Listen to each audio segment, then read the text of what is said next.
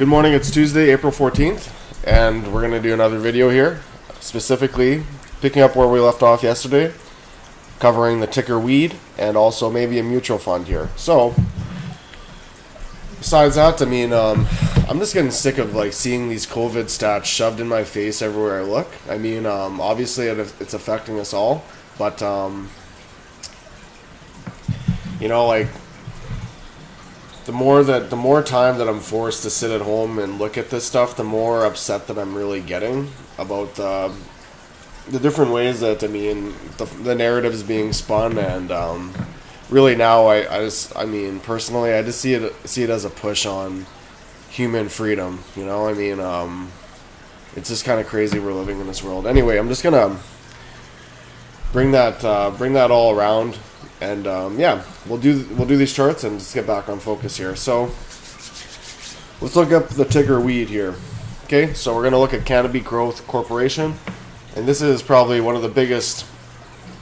Well, I think it's the largest company in Canada for weed, and um, just imagine, right? I mean, um, now that when you think in hindsight, hindsight always twenty twenty, but Canada was one of the first of the industrialized nations to legalize marijuana, and um, you could say it's a big push for um, freedom and individual rights, but it makes me just a little bit more um, conspiratorial when you think like, why did they want the population to be so enamored? Why did they want no resistance to what would would plausibly be to come? So, for me, like, I have nothing personally against you know individuals using this, but um, just as a full nation, Canada is super, super pushoverish. Um, and, well, we'll see. We'll see. We'll just uh, we'll, we'll see. My mind's a little bit flabbergasted with that, but um, let's just look at some of the fundamentals here with this. Um, market cap seven billion. That's a little bit larger than I thought. So that's quite a bit of. That's a it's a pretty big company. Um, I think this would be like the biggest company think it hasn't had as volatile moves. I mean, you don't see as negative stuff as it. Like a lot of t- during the whole little run, I think you could say that there's a race between Canopy Growth, Aurora Cannabis, um, maybe Aphria, and there's a couple other ones in there. You know, there's they're all competing for the race to be the winner. I mean, and um, from that little bull run of uh, the marijuana market, we've seen we've seen a pretty healthy correction. So back here right before 2017 yeah this would be been the time to get in here. As you can see it somewhat formed a cup like so a large cup right there. And um, we had a challenge right here halfway through but um, didn't break break through till right about here. And um, looking at this actually from a technical point, uh, standpoint just to get more onto what we're doing here um, you could have said, man, look at that, look at that. So that's like an ideal trade that I want to find more of, like right there. So when you when you seen like a huge cup form in this this um, company right there, a huge cup a cup like a huge bear market cycle, and you seen it start coming up, and what did it do? It started consolidating within a pretty tight range here, like well tighter than it usually was and you could have suspected that hey, this might be getting close to a move here, and um, you could have played a bigger range like this if you're playing more long term, or you could have even you could have even tightened it up as it was getting into this area right there, and um, yeah, there's different ways that you could look at that. I mean, if you're playing with the month bars, you might have something like this. But if you're, let's zoom it in a little bit more to see what that detail looks like. Um, see if we can get situated here again. So here on this week sense, you, um, yeah, I'm just making sure I got the right thing. You can see, yeah, we're bouncing along here, and uh, well, we have a, a double, double. Well, it's not quite. Let's say we just moved it up a little bit. You could have said right here could have been a pretty good stop loss at 372, and um, you're hoping for that breakout above 349. So you, uh, uh, 439, excuse me. You could have played this a couple different ways. You could have waited for the confirmation right here after it broke out of this little seam. So let's just zoom in a little bit more. Um, see if we can get a little bit of an idea what the price action was saying back here. And I haven't looked at this beforehand, so yeah. So like especially as it starts playing out, it starts probably becoming more and more of an enticing, enticing uh, buy here. I mean, I think I'd be happy with any kind of buy within this range right here. Like you could say it was hovering between this range, 410 and 372. And that would have been a pretty nice little area to enter in. And let's say you could have had a stop loss right here. You could even had it like, let's say, down like so right there. A little bit more modest. Um, depends on how tight you want to play these positions, but um, you could have you could have really had something tight here um, as it's coming coming through. Um, it's tough to say the exact point where you should have entered into this, and I think the point's kind of made. Like when we when we can have a pretty narrow entry into something that we like, and we have a, a pretty tight stop there. That is um, that is the time to get into these things. So two different ways that you could have played this is that you could have just wait waited for let's say the break above the 439 right there and then um, well we have a higher high and then we establish a higher low and we could have we could have entered in let's say somewhere like right here we could have entered in right there at 586 if you wanted to wait for confirmation that hey we are going to be going up here for sure so that would have been one play. You could have waited for confirmation, but I think with this setup, you should have just bought right at 430, um, 439. Um, just because you've seen like such a long-term setup like that, and even right here, you could have said that. Looking at this, I mean, it's slight, but right here, four, uh, 371, 379, 389. We're establishing really in here too higher lows and the high 403 411 420 24 so that also is kind of showing a nice uptrend in here hey?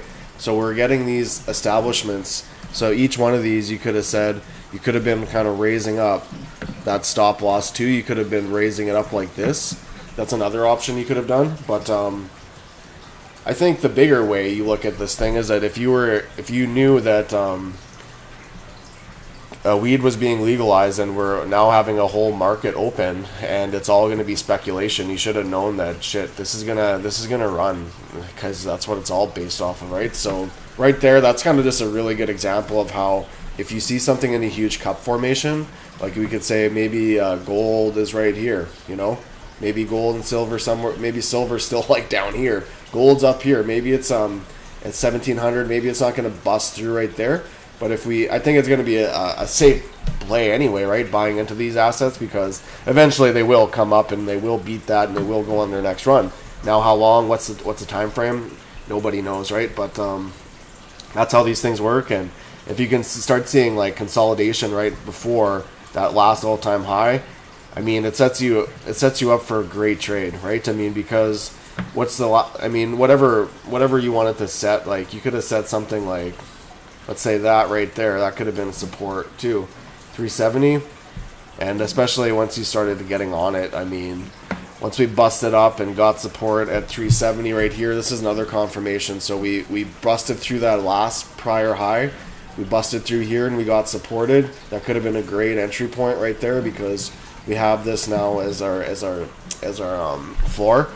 And we could now gain steam and then we made that great push there. So there's so many different things besides like the low uh, the higher um, the higher lows right here and the higher highs. Just a small little uptrend that starts the this the point.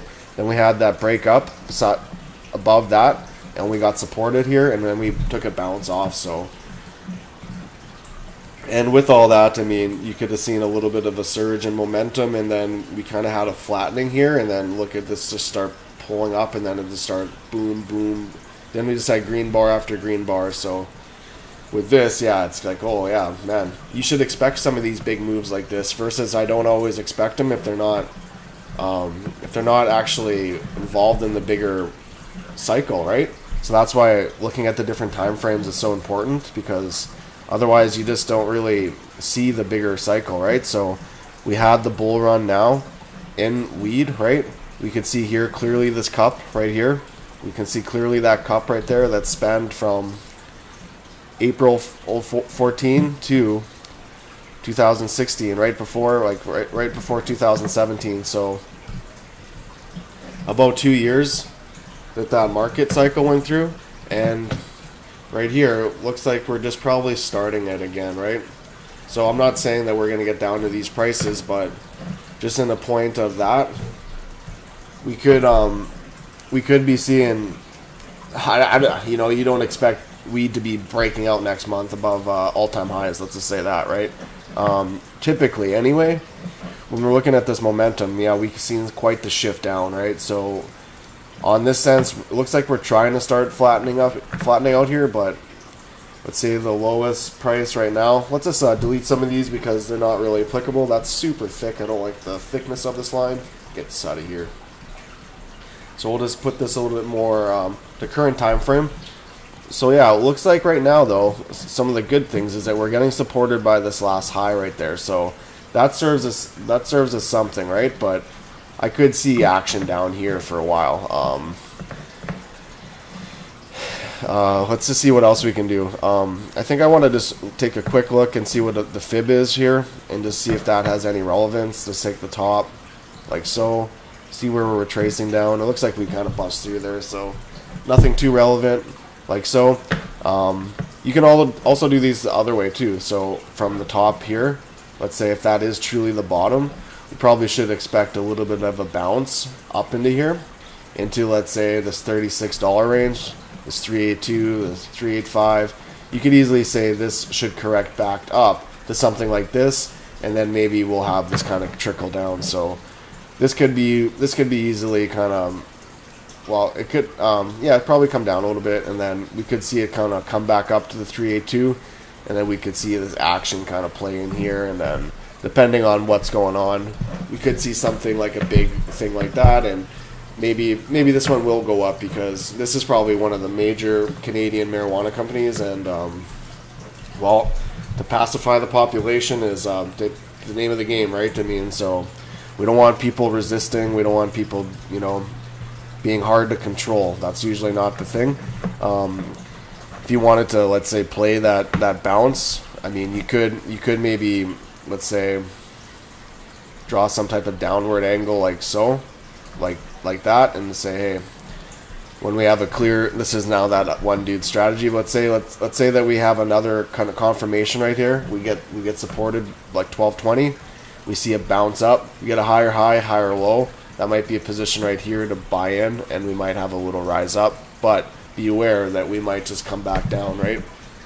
Because that's how these waves work. And um, understanding the skeleton, you should know how to expect some of that stuff. So, but just to say that, um, looking at this frame right there, um, yeah, I'm not really sure, just because I think that there's such a underground market in Canada for the, the sales of marijuana that bigger companies like this, it's tough for them to be profitable. But if they're backed by the government and they're too big to fail, then they probably won't. But um, I think that most of this rise in, in price was a lot of speculation. So let me just take this from a, let's try to fit from a different low from here. Still sucks.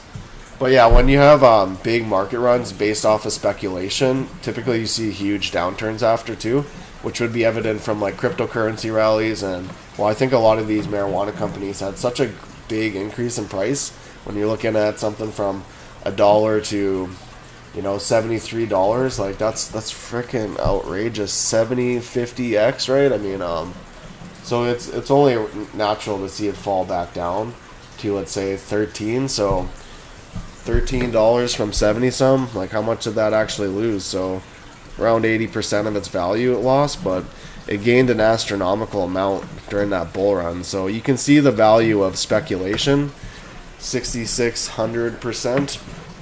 Um, and that's where you want to combine like the, the macroeconomics, the trends that are coming, with let's say some good technical analysis. So with this, this could be coming back around and might be this might be a, a, nice little low point right here, right? This might be let's say in comparison, this might be a little point like this, hey? I would I would liken it to that, like the first little leg down of this, and I would suspect that we got some more, you know, we got some more time to play out here. I'm not sure if it's that long time frame, but we could see another little dip below here. That's not crazy to see it maybe get supported in this range.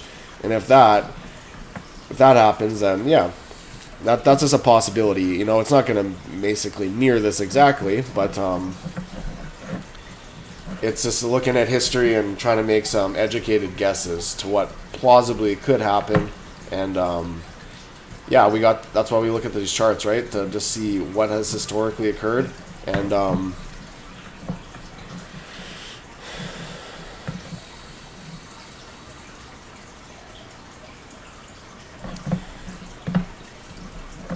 you never really do know though. So like this bottom right here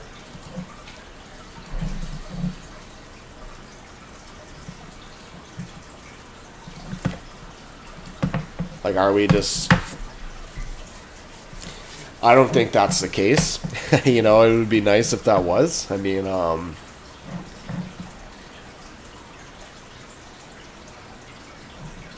Yeah, I don't think I would do this yet, but I mean, it could be. It could be something like this. I mean, um, if everyone just starts buying off, buying all the weed, I mean, if we all got to stay at home and do nothing, I mean, I don't know. I don't think that that's going to be the case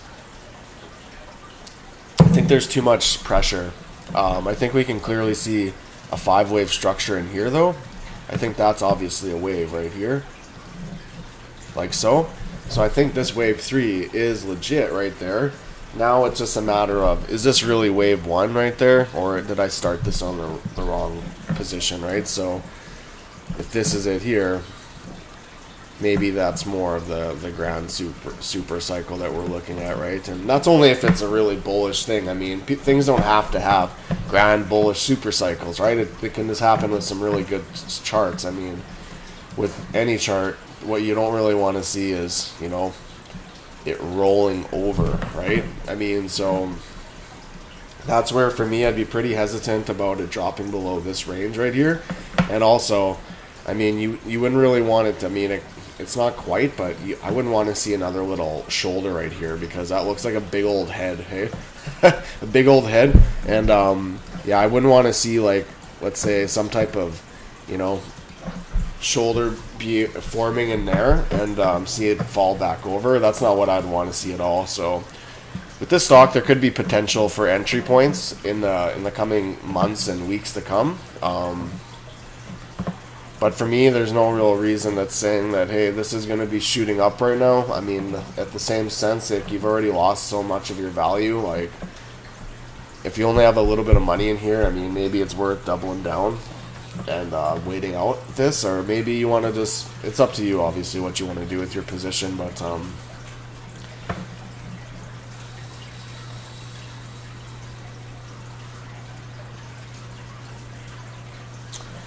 Yeah, it's looking like I mean it's kind of just this thing's been popped right. All the air's kind of fizzed out. Now it's uh, now it's to be determined that um, there's got to be some winners you'd think though in the in the weed market, right? It's a billion. It's got billions of dollars invested into it. Um, I just don't know if this is ready. If this is kind of ready to start marching back upward. It could. It could, right? I mean, I'd really want to see it follow that right here. Um, we can see we're below this. I mean, this thing is definitely in a bear market, right? So how long is this bear market going to be? That's that's to be determined. That's to be determined for sure. But it could be anything like a drawn out bigger bigger correction, like we've seen in a lot of other charts. Like I mean, it's just in any chart, right? I mean, let's just look at the gold. What do we have? Uh, up, and what do we have? This drawn out phase, right? So right now, canopy growth somewhere like right here, and we're wondering, hey, is it the bottom? Should I buy in right now? I don't know. It, it, it's it's better than buying here, I guess, right? But do you want to wait all that time frame? So that's going to be your decision. If you want to hold on this, and I bought stuff in here, and then you just hold it, and you're just like, why the hell did I buy this? And then all of a sudden you sell, and it goes through the roof, and you're like, I knew it had something. I knew it had something, and I sold it right before. What did I do, right? So by understanding these bigger super cycles, I mean that's what you can almost see. Like here's Bitcoin. I mean here's the same thing, right? Look at this. It's so clear once you see it. Here's it up. Here's a huge little cup. Here as it is. What are we doing? We're doing a big cup. So you could have said, "Oh, buy right here." We came back up. No, we're we're still forming this deep cup here, right? And um, I'm not I'm not really sure, but the bigger the market cap, the bigger the cycle. So right there, a little cycle, very small Bitcoin. Right here, even a bigger frame, right? When we look at that, from 2017 to let's just say 2014 to 17, so three years, three years that took. Not two, three. From right here, we got 2013 to well.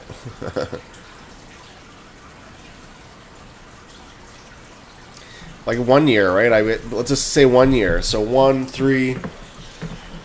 What would be the logical assumption of this cycle, right? I mean, it's tough to really think that we have a like an algorithm here that we can predict. Like, is it one, three, five? You know, is that the is that the is it one, three, five, seven, nine, eleven? Is that how these market cycles are going to work? Is that the actual, you know, is that what we should be expecting for the length of each one of these corrective phases as it becomes a bigger um, a bigger uh, business, which takes more more capital, more liquidity to actually. Holy crap, that was messy. Um, to actually pump this market back up. So when you look at that, I mean, you could say that maybe how long will this correction phase be in, in weed and canopy growth, right? I mean, but just to talk about the Bitcoin one, right? I mean, right now, we're basically 2018 2020. We're already two years into it, right? So we're two two years into it. Two years since we've been two years of bear market, literally two years of bear market.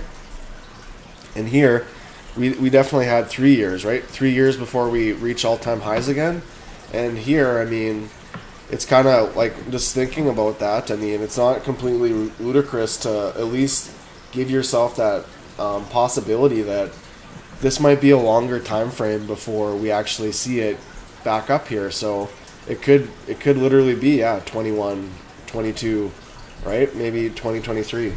Who knows? But um, I think it's kind of it's almost now I'm back on Bitcoin here, right? Because um, there's just so much stuff that's like being pushed for digital digital stuff, right? I mean, cash being dirty. I mean, besides the whole conspiratorial aspect of tracking everything you do.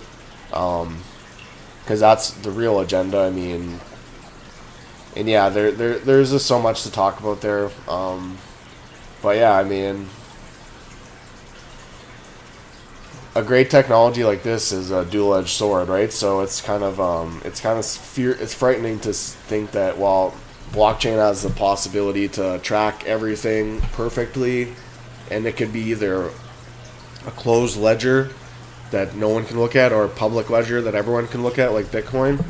But when you implement that and say that we could give people digital identities and then track COVID 19 specifically based off of these individual identities, and we can see who's got the vaccine and who hasn't, and then we can use that information to dictate whether you're allowed to travel and stuff like that, it starts looking like George Orwell's 1984 or 1932 Brave New World and um, when you just take take out the message of the media and you look at, let's say, those, those fundamental messages that have been portrayed, and if you look hard enough, there's clear evidence to suggest that. I mean, you should be you should be um, at least aware that that stuff's being produced, and maybe I will do a video looking at or highlighting some other people's work, just uh, explaining that and just showing how companies like Microsoft and um, well, Mr. Gates himself is involved in creating this ID 2020 chip, and um, they're using specific companies involved with blockchain. And um, it's just kind of crazy. I mean, you usually just think that's like kind of sci-fi shit, and that's never going to affect us in our time. But here we're all stuck in our house, and what's coming to save us? The vaccine, and what's it going to have in it potentially? Well, a tracking thing to make sure that we know who's got the vaccine, so that we, you know, don't spread the virus, right? But um, that seems like a huge, huge, well, not just huge, I mean, that's the last straw. That's the last straw to sovereignty and you're giving up the last bastion of freedom, and it's your actually your human body, right? You're giving up your human body for your for your free um for your safety, your supposed safety. So, yeah, I'm, I guess I'm pretty strongly against that. I mean, I don't want to be, um, you know, we're already watched from our phone, from everything we do. Everything's watching and listening to us. Do we really need to have a freaking chip in us? I mean, that's just the next level for me. I will not support that at all. Um, good quote from Ben Franklin is those that will those will give up a little bit of freedom for safety deserve neither freedom or safety. I kind of paraphrase that, but um, I'm not sure pertaining to what exactly he said that in. I might have um, used it in a different context, but I think um, the point is made clear that eventually people have to stick up for themselves, you know, otherwise it's just kind of the uh, totalitarian tiptoe where it's like that it's like that creep that pushes someone as far as they can as far as their boundaries will allow and then back off and then keep on pushing a little bit further each time until all of a sudden they got to where they wanted and that's how i feel right now that there's like an invisible kind of um, oppression of mankind happening right now and if you look into it enough you can see the actual the actual um, skeleton of that too. You know, and I mean, looking at these charts, I mean, looking at them into detail like I do, just naturally you look at everything like this, right? And like I said before, there is little versions of things within itself, right? And um, it's just it's just kind of crazy, you know. I mean, to see all that stuff happening around the world. Um, yeah. Eventually, I mean, I don't know how much longer I can uh, stand for it. I mean, a lot of times you hear those phrases. I mean, all it takes for evil to succeed is for for good men to do nothing. Um, it's just a really crazy position to be in. Like, I don't.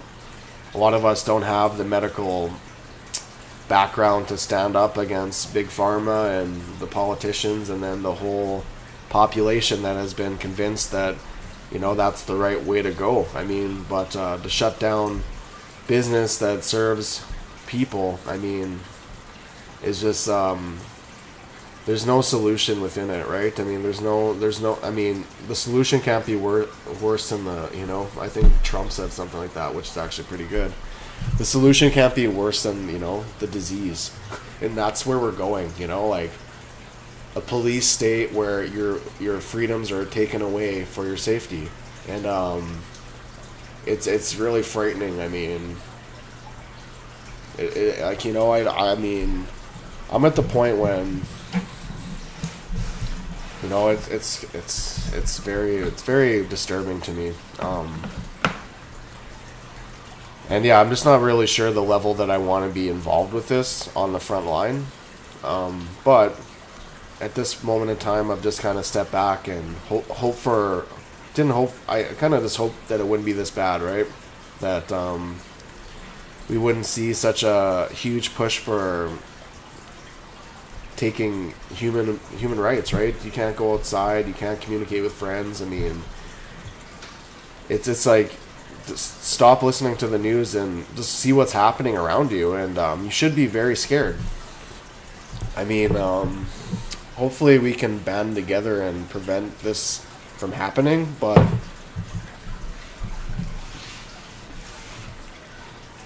To see it happen on so many different fronts is really the really disturbing place, right? I mean, to see it financially, like we can ex- understand it just from this perspective, right? I mean, just in the pure sense of finance, like the printing of the money will cause inflation, which will destroy the economy. It's happened so many times. Okay, we get it. We understand. We can see it purely from that aspect, right?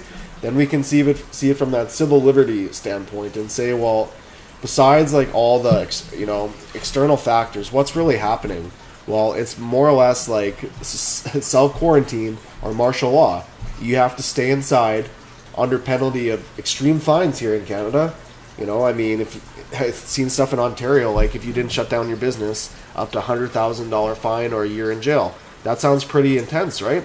And uh, how much further could that be? I mean, if you get a you could get a thousand dollar fine if you you were came back in from the country and you got went out get groceries. So if this sounds like the country you want to live in, then uh, follow follow the, the status quo. I mean, at the same sense, I mean we're all kind of subject to the law, right? I mean I've had to shut down my business because do I want to be the first one in the court? I don't have a lawyer friend or anyone, so I don't want to have to be out there you know, basically falling on the sword for the population that won't even support someone like me standing up for their freedom. So it's just it's really it's really like troubling to be in this position where you might have a, a, deep understanding of what's happening, but you can't even express it to the average person because it's like literally the Matrix. They'll sit there and defend it, right? It'll it will shake their belief system so hard that it just rattles them, and um, it's not like people that look into conspiracies have all the answers, right? I mean, this is just looking up information that's out there for everyone to look at if they had the time and curiosity and could sense that something is not being told to them correctly. So, when you look at it just in a purely financial standpoint, you can see, okay, the dollar's going to collapse. I mean, maybe they can save it. I don't think they can. Regardless, it's a planned financial collapse. It, it, that's what it has been, right? Look outside. No one's sick. It's just like it's a it's a it's a fucking joke. I'm sorry to say this, but I mean, eventually, like how how can we just stay at home forever? You know, like the amount of change that they're gonna try to implement is gonna be crazy. You won't be able to go on vacation unless you have your vaccine. You won't be able to leave the country for your safety, right? It's gonna kill you with kindness, and um, I'm just really hoping for a big pushback from the population and. I guess eventually, I mean, someone has to stand up for everyone, right? I mean, you see a, a few people standing up, and um, I guess it can invoke the courage in us all, right? But um, it's just tough when there's, I mean, I've kind of known about this for years and years and years, but um, most people don't want to hear it because it, it ruins it ruins their their mental nirvana, right? I mean, but now we we don't have a choice. We don't have a choice to either you know, we can't even go back to sleep if we want to. I mean, we, we're just stuck here where they're saying that you can't have business, you can't have social contact, you have to stay alone, you have to isolate, and you have to get mandatory vaccines. And it's just like, where am I living? Like, this isn't the home of the glorious and free. I mean, this is this is a totalitarian tiptoe towards like communist China.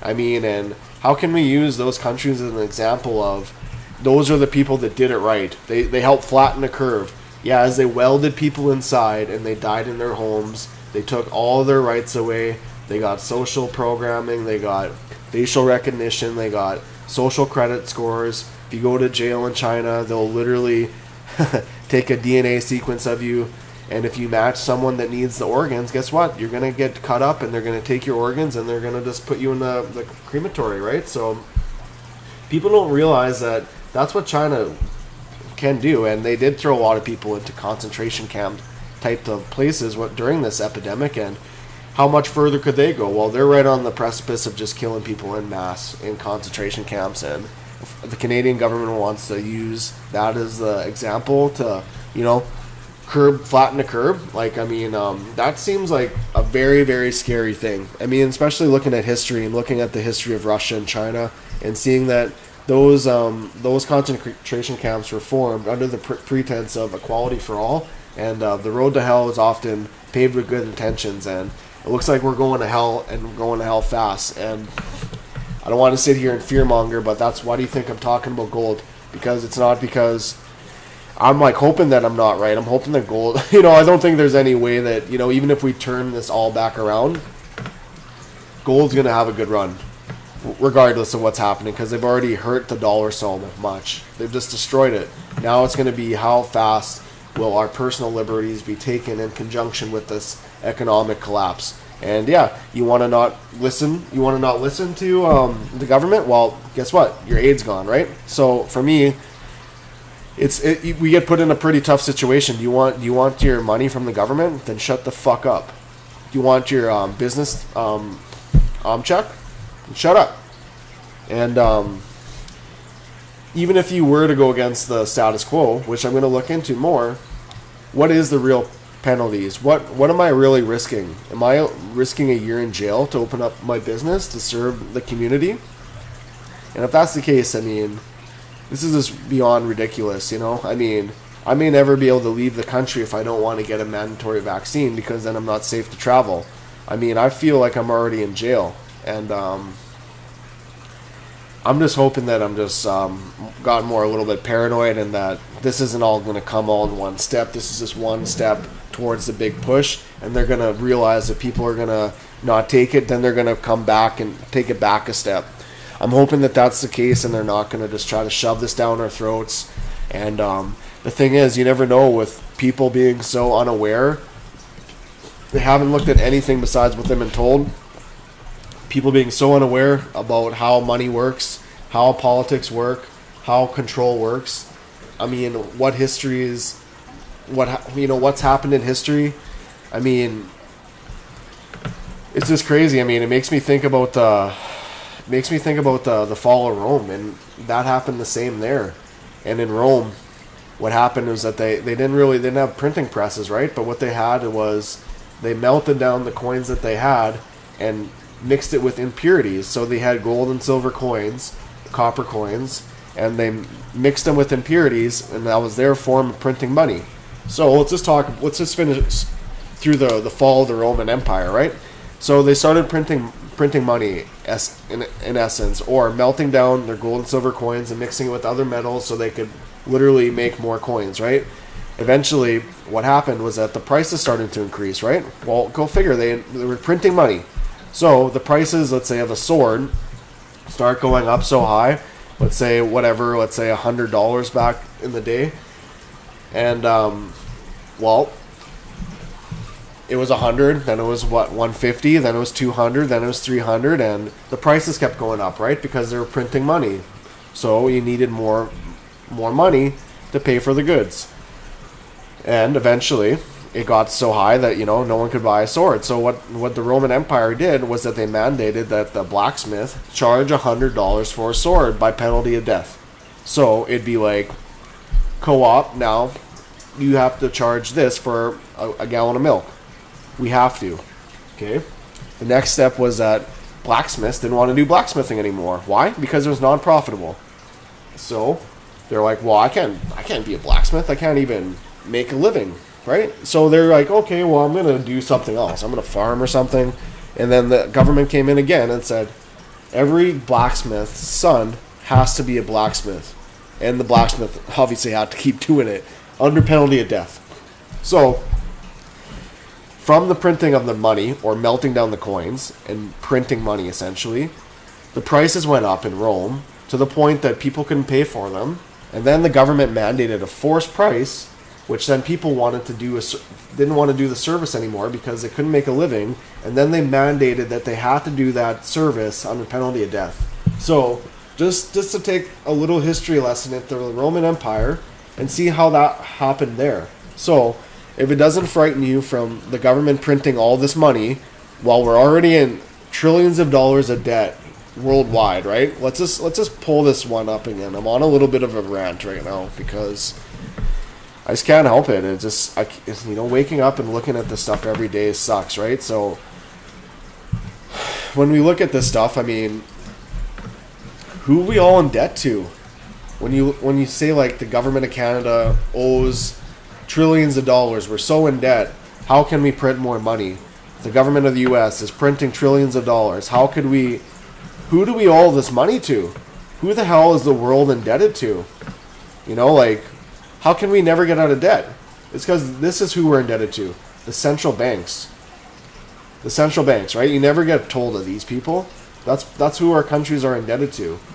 So, 320 trillion global debt. Look at this. We're 300 trillion in debt to who? What country? What nation are we? What nation? No nation. The central banks. The central banks, right? Who manipulate the economy. 38 trillion in housing debt. So all this stuff this isn't by accident. You think these central banks are trying to make as much money as they can? They basically have enslaved the world to them. They've enslaved the world to them. And now we're all sitting here printing money just like basically scooping out of the scooping the water out of the the sinking ship, right?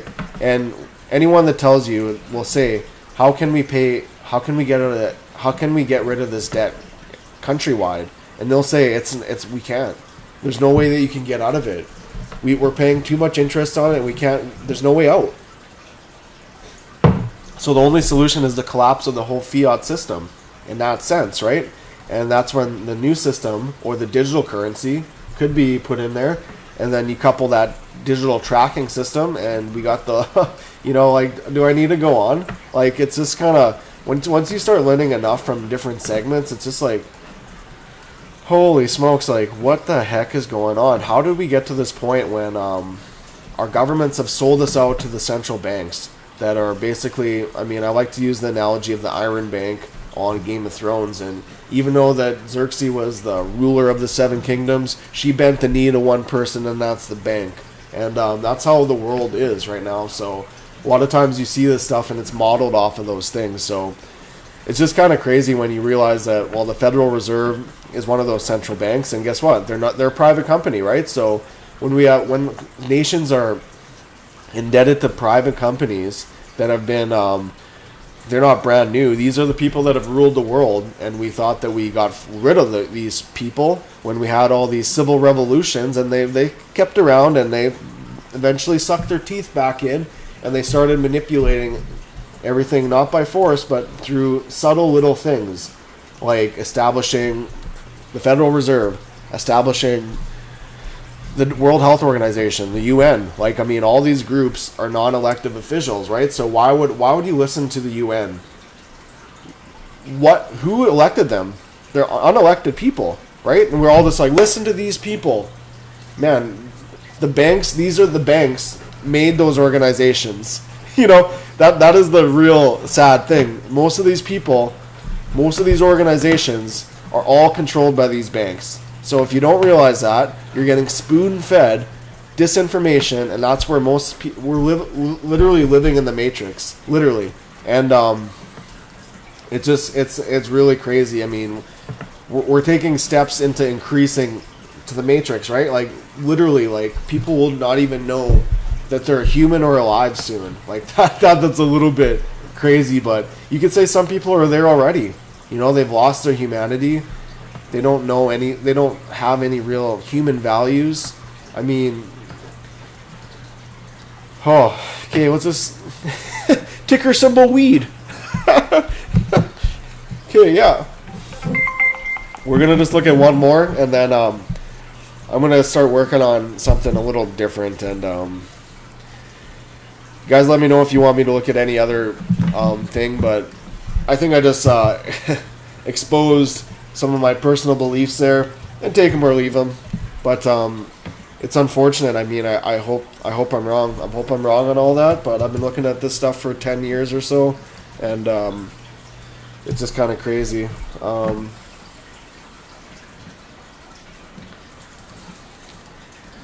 anyway, I was gonna look at this mutual fund here, but I, it doesn't look like it's pulling up, and that's quite the rant. So, regardless of all that uh, negative um, information that I was talking about, there is there is positivity, and um, it's really nice to see some people just speaking out. And I've seen I've been seeing more and more of it, which has inclined me to do the same. And um, most of us, most people that know about the, the deeper reality that's happening are just kind of they're we're, maybe we're cowards. We're a little bit coward cowardice because we know that there's going to be a lot of pushback and there's going to be a lot of um, attack, personal attack from friends and family, and even just uh, you know society to take such a you know opposite viewpoint of the the collective herd mentality, and then from individual places too. Like I don't want to really get um, regulation coming down and getting my taxes audited, and I, I would suspect nothing less if you want to be a dissonant, right? If you want to go out there and speak against the government, I mean, look at what they did to like environmentalists. They're labeled terrorists, right? I mean, you don't realize how crazy the world that we're living in. So it's almost at the point that little little people like me and you have to stand up and say no more. Like a ground up movement saying, "Hey, we can't have this stuff happen anymore." For me, I will I I can the line in the sand for me is a mandatory vaccination. That is just like utter you might as well just shoot us all in the fucking head. I mean sorry to use that language, but realistically, you know, what if they had this in Auschwitz, Germany? That's what I'll leave you with, right? What if they just had a vaccine that people willingly lined up for? They wouldn't have to gas you, would they? You know? What if it had a delayed effect? What if there had no effect right away? What if it wasn't that bad for you physically for a while, but it was just a way to oppress civilization? Now you don't have to have your phone because they can track you anywhere. Now you said something online socially. You said that you didn't like um, the government in power. Well, we're docking you. We got your digital tracking device. Now you're not allowed to travel. And now you're welcome to China because that's how it is right now there. So if you want to look at what could possibly be here, look at China because that's what they're trying to model. So I don't want to live in that world. I will not get that vaccination. I will, you know, I will make a big, big, big stink about it. I mean, realistically, I mean, it's almost the bottom line. Like, I will make a stink and say, you might as well kill me right now. I mean, um, because I'm not getting that. I mean, now, what choice may I have? Will they come to our, our doors and mandate that? I don't think so. I don't think they'll take it that far, but they'll probably produce a system where they'll exclude you from the system if you don't get it, right? So they'll restrict your travel, they'll restrict your ability to work or have a business, and um, it's just it's just so sad to see that you know that's where we could be heading, and um, if that's really the world that Canada is going to be imploring, like for me, I have to even like consider maybe I could be trying to get the first flight out of here. Um, but with that travel restriction, maybe they'll say no, you can't go anywhere, buddy, until you get your chip.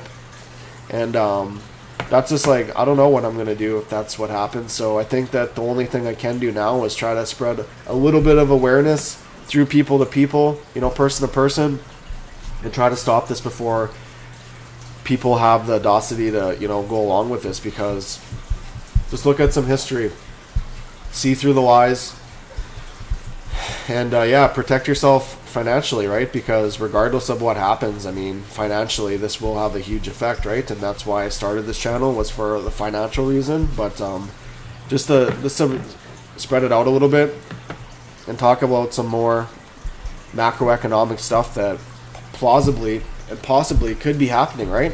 I could be totally wrong with all my with everything i just said there and I'd be more than happy to be wrong, more than happy.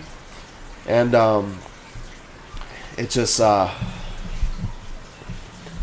yeah, I just I think that we're gonna have to take a stand here. So it seems that way, and um, I guess one, I think I'll just leave it at that. But um, this isn't this isn't this channel's not supposed to be about that, but.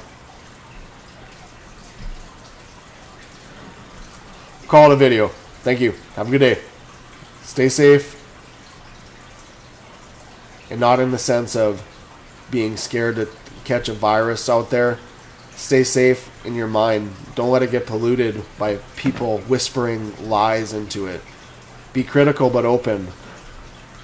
Knock and you shall, you know, receive what is there for you. Um, take care, everyone. God bless, okay?